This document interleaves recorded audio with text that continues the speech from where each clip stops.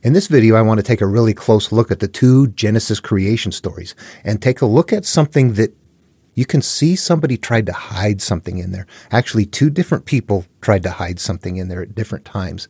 Langton, in the way that he chaptered it in more recent times, but in the story itself, we're going to see a verbiage overlap, a line that seems out of place.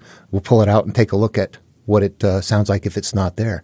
And then think about why they did that. All right, there's a couple of things about my interpretation technique that's incredibly important. And if you're following along or if you want to do what I'm doing, one thing I have to say right up front is you really have to be, um, I, I'd say, emotionally disconnected from the material enough to be able to look at it objectively. And that can be a difficult thing. I'm really looking at this Bible as, as if I'm trying to analyze Homer, you know, Shakespeare, something like that. Uh, any mythology from antiquity. I'm, I'm looking at it from that kind of a perspective. So, in doing so, I see something in there that allows me to, um, I guess, make some comparisons with other material. Genesis is a difficult thing to pick through. Honestly, if I go to Exodus, I go, whoa, there's a monomyth right there. what's Genesis then? And you look and you look and you go, boy, that's a really old monomyth that's kind of like Originally, it was kind of like the Enuma Elish from the Babylonians, but it didn't stay that way. It got changed and it morphed. Now, I make these claims, but I'm going to tell you there are so many parts to this that it's not in, you can't learn this in a short period of time. But let's start right off with the two creation stories then, right in the beginning. We're going to see, and, you know, I won't, I won't cover the chapters, but if you look, you will see that when, when Langton chaptered it, he put chapter two starting on day seven. There's a day there's a 7-day creation story of one style and then there's a second one. He put the chapter break in the wrong place purposefully because he chaptered in two places in the in Genesis he chaptered in a weird place. Everywhere else he chaptered at each step. You can if you read the steps you realize they're perfect. It's like island hopping except there's a, a couple of incorrect overlaps right where the templates begin. Let's take a look. So what I'm using here for this is a an RSV updated edition. It's just easier to read. I don't use this for my number searching, but for reading, um, this is going to be a little bit easier to understand. Now, what I want to do is talk about the two styles. And the way that this kind of jumps out at me is uh, like with coding. Um, software coding. If you, I've, I've never gotten into it too much, but I've done a, a, some light stuff, and there's some things called if-then statements. If this happens, then that. If this, then that. If this, you know, you you would probably have that on like space launches and things like that. If this fails, then shut down. If that fails, then shut down. If this, you know, things like that. If so, those are always part of electronics, and well, their life. They're, it's a cause and effect, honestly. If you look at it, it's more than that. If you if it rains, you get wet. If this, then that. You see that is always going to be there. So what we do is we go through each and every one of these. Every one, there's seven of them. One, two, three, four, five, six, seven. Seven days. Then God said, let there be. And there was. Day two, dome in the midst of the waters. Let there be. And so God made. There was. Then God said, Let the waters, and so it was. Let the earth, and so it was. Let there be, and so it was. Let the waters, so God created. Let the earth, and so and it was so. Let us make humans, so God created humans. Okay, and then it does not do that on day seven. Day seven does something different. But what we have here is a, a whole pile of if then statements. It's a very structured it's a very structured sounding document. Okay, so if I move into the second creation story, what I want to do is see something that's a little bit different. It, it, there's a strange thing going on. It should kind of trip you up when you start reading through these and reading them that way. As you go through here, it does not have those if thens except for one time, right here. It does not read the way the other one does. And the Lord God planted a garden in Eden in the east, and there he put the man whom he had formed. Out of the garden, out of the ground, the Lord God made to grow every tree that is pleasant to the sight and good for food, the tree of life also. You can see it reads different. It doesn't say, and God said, and it was so, and then God said, and it was so, and it doesn't do that except for right here. And God said, Let a stream rise from the earth and water the face of the ground, and it was so. That one right there doesn't sound like it belongs here. In fact, watch what happens if we just omit it. I'm just going to take it out. And let's have a read without it and let's see what it sounds like. But a stream would rise from the earth and water the whole face of the ground. Then the Lord God formed man from the dust of the ground and breathed into his nostrils the breath of life, and man became a living man, or a, be- a living being. Okay, now this sounds like it would have probably sounded originally. It does not have that one if then in there. So what I'm suggesting is that when this was added in, when this creation story was added in, that there was a there's a seam right here. Now the chapter breaks were not there to begin with. They, they were put in in more recent times by Langton. So this was simply the, the story just flowed in a verbal uh, manner. But right here, it would have changed styles very radically. However, and, and probably get people's attention. However, if you put that one line in here, right there, which doesn't need to be there, but a stream would rise from the earth and water the whole face of the ground. And God said, Let a stream rise from the earth and water the face of the ground. And it was so. God made the, the stream to rise from the earth and water the whole face of the ground. And God saw that it was good. I put strange flow doesn't fit the literary style of second creation story, but rather the first one. Omitted past the dash of the story, still intact. It's an if then. Anyway, okay, so that right there looks to me like somebody tried to. It's it's kind of like this, maybe.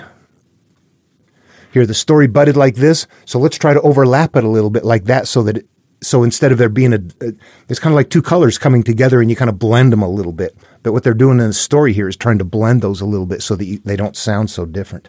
And then, if Langton put chapter breaks there, then he further tried to obscure that. But what does that also tell us? Langton knew what this is, and he's trying to hide what is there. What does that tell us? That implies that the church knows what this is, the Catholic Church, that behind the scenes, and that we're not allowed to know it. They're they're tweaking around this stuff. Okay, so not only was that uh, the first creation story, the seven day one, added in and tried to make it blend so it sounded like it belonged there originally when you can see it doesn't. We get the same thing when we get down to where the first template ends and the second template begins, right where the calling of Noah is. What we're going to see right here in chapter 6 or in yeah, chapter 6, what what's called chapter 6, the wickedness of humans is where this is where everything goes south and it's time for God to come and destroy everything. What does it say here at the end? He's going to destroy everything, for I am sorry that I have made them. Okay, so it's time for earth destruction, and that's going to begin right here. Now, that should end that chapter. But Noah found favor in the sight of the Lord. That is the calling right there. You see that he didn't put it in the right place. He put chapter 7 way down here where the great flood is. So there's a significant amount of the second template that is being held in a chapter. If you read it without the chapters, you got it figured out. If you if you're looking at the chapters, it, it'll mess you up. But you can just see that he chaptered it very purposefully in these two locations off that, that they're not accurate. Everywhere else is accurate. Here they are not. The, I would I would look at that and say, yeah, that's intentional. He's either trying to tell us to look here or prevent us from seeing the the cutover. Now you can see that in the the Noah callings, there's two things here. First, this would have been the original one. This this would have been the original part of the story, and see why. And of every living thing of all flesh you shall bring two of every kind into the ark to keep them alive with you. They shall be male and female, of the birds according to their kinds, and of the animals according to their kinds, of every creeping thing of the ground according to its kind.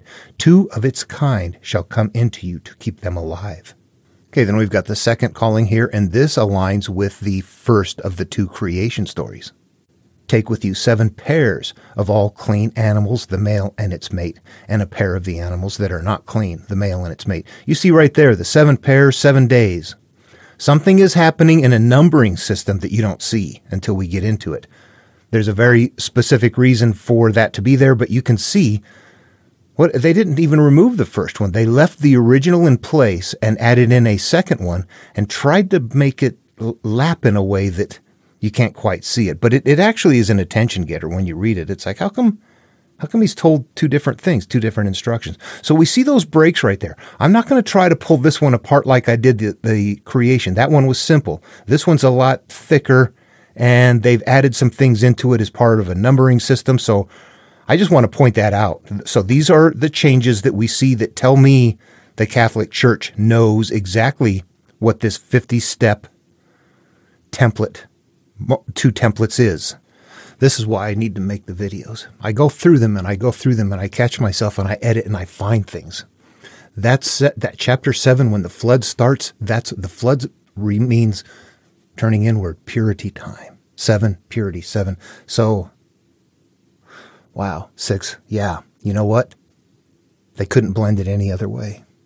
Noah had to be where he is because seven can't start until it's time to purge. There needed to be a six and a half. All right. They know exactly what it is. And they are trying to hide the way to figure it out. In antiquity, this was available. It still is today, but we don't have it memorized. We don't know it well enough. You see, what I'm doing is too thick to just sit and talk about. We have to use the computer. And I say that only by looking at material and analyzing it and, and pulling it apart and seeing different pieces and then just trying in your mind to figure out why is that that way. What we're going to see is that there was originally a a Genesis that was smaller, and it probably had Lilith in there. That was taken out, but what had happened then is that a that that it became big. That Genesis and the entire Abrahamic tradition morphed into something that was really big. But there was there's a technique that they're going to be using and numbering system that they're going to maintain all throughout Abrahamic material that we don't have access to because we don't know the Bible well enough. We don't have it memorized. And we're going to have to look at it using the computer. We'll see that here. Um, but what happens then is in Genesis is they added in to make it longer. They want to keep this this template sequence going on again and again and again. We go back for healing processes. That's what it is about. It's for inner healing. We go back again and again and again. So it gets held that way in the story. Very hard to see. Genesis, what? Is it, is it doing that? Okay, that's what this series is going to be about, figuring out how they are nesting that teaching in this material. And that, that's why it sounds so goofy. But we'll, as we'll get into it.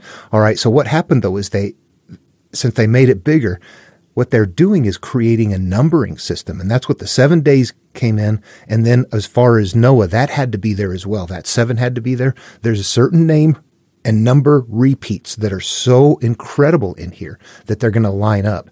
You know, 40 is a number we need. This is repeated 40 times. This name is repeated 40 times.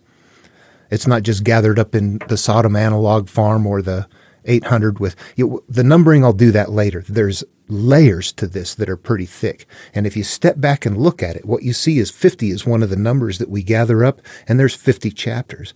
And if you start looking through, like for example, 12 is one of the numbers that we gather up, and 12 is a place that would be a good starting point then. And if you go look at chapter 12, that's where Abram and Sarai start. It's like, whoa, there's so many ping, ping, ping, ping, ping. That was Langton. But that, you know what? That's where the, that's where the chapter break is. That's where the natural flow of the chapter break is right there. The two that are not, the only two that he didn't put in the right place are the creation and the calling. Those are obscured. And like I said in my previous edit, I'm putting this in in editing too. I now see, after making this video and looking at it, I'm seeing that that chapter 7 had to be right where it was and Noah was there. There was a destruction. There was too much material. They, they had to stuff that calling at the end of six because you can't have the calling start when the purity is the, the yeah the yeah I can see a reason why they're sequencing it and it needed to stay at 50 chapters. They couldn't add another one in, but that that's a that's a that's a that, I do see that's a breakpoint that is bizarre. Once you get to the template level, you go, oh, something's not quite right here, and you go, that's because there's things added together. It's it's kind of a kludge, and there's some overlapping going on. Yeah. but then the numbering system picks up. Okay, so uh, for this video, I just wanted to show that. The, the creation was really the big one. That was kind of something to look at that you can go, yeah, you know, it's up to you to decide whether you want to believe that or not. To me, I look at it and go, those are two different writing styles. One of them sounds like this, and one of them sounds like that. One of them sounds like a technical manual for the soul, and the other one sounds like I don't know, like a poem. They're, they sound different to me. Except for you get into the next one that sounds like a poem, and there's that one kludge piece right in there. It's like, whoa, here's a piece of mechanical stuff right in this smooth flow. that's how it seems in my head. So that's why they kind of pop out. But um, all right, so that's it for this video. Questions, comments. Um, the sequences along the way, I believe, as we get into it, are going to, I think we're going to find some magical things lining up that's going to blow our minds just by looking at it this way. It's right in our faces. We don't know it because we don't know how to know it. I'm not looking at anything different. I'm just looking at it in a different way. All right. See you in the next video.